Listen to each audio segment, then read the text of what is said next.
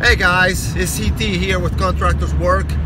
This video is going to be about the importance of your profile page. All right, guys.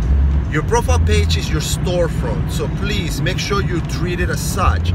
You have to have a profile picture, a background picture, uh, and about what about your business, what about your skills, what is it that you do, what kind of skills you have.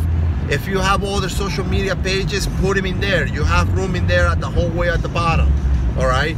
If you have any questions don't hesitate to ask. Let us know all right? When i started building this thing believe it or not i didn't even know how to send an email all right? So don't feel like you don't understand something. Believe me i want to make sure everybody benefits from what we build all right?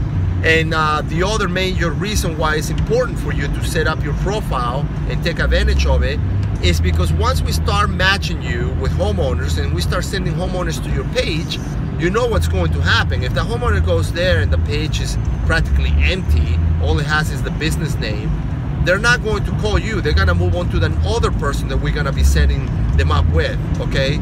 Because see, we're gonna be sending matching homeowners to multiple contractors. The ones that call back are the ones that get the job, or of course, you, as you are aware, homeowners like to shop around. Maybe make sure you always price your job right, make sure you price them fair, and think of the long run, okay? Think about, all right, you know what, I can do this job for this much. Don't cut yourself too short. I can do this job for this much, and then look ahead, all right, I'll be able to get more work from this person, all right?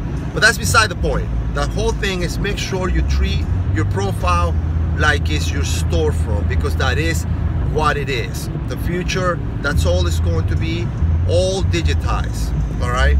So anyway, let us know how we're doing, guys, and please help us spread the word, all right? We built this for you guys, for all of us, for our incredible industry, and we want to make sure we make it, make it thrive and make everybody in our community thrive along with us, all right?